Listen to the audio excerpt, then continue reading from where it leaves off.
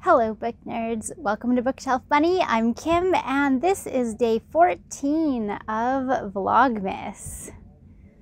Can you guys believe that there's only like 10 days left till Christmas? Isn't that crazy? It's coming so fast. I still have presents to wrap. We'll get there, we'll get there.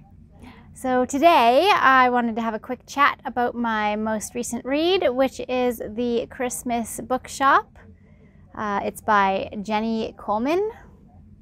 Colgan? Jenny Colgan. and I really liked it. It was a cute story. It takes place in Scotland in Edinburgh. I think I'm saying that right.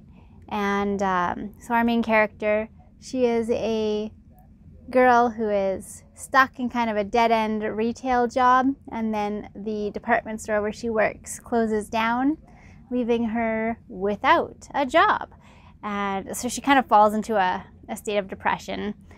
Her mom's kind of desperately trying to push some motivation into her while also hoping that her two daughters will get over some of their differences and reconcile.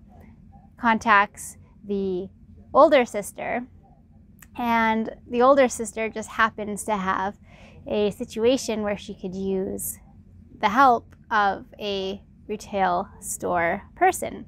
So, our younger sister, Carmen, goes to the older sister, Sophia, I think her name was, and she moves into her home with her two uh, nieces and a nephew. Um, the older sister's husband is away on a business trip in Japan, and the older sister is pregnant.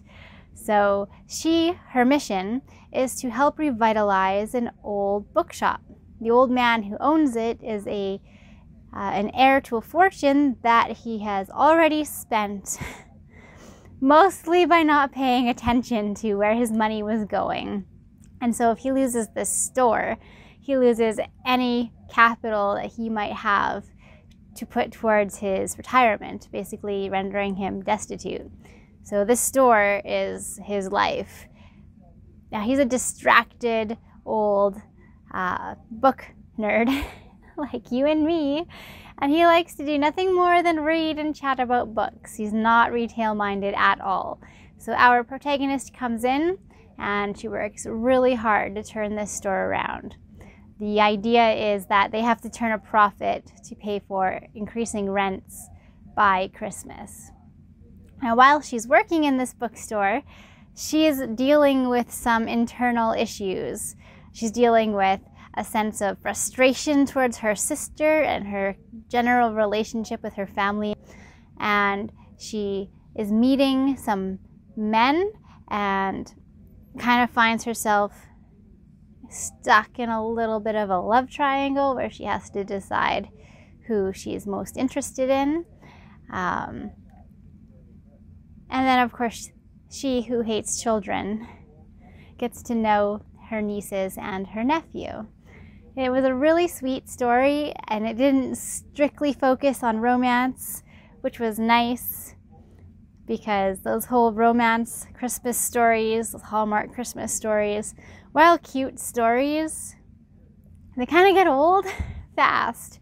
And so this was a nice, refreshing change of pace. It was not a cozy Christmas mystery, and it was not your typical Hallmark Christmas story. Instead, it was like a self improvement Christmas story, and I really liked that.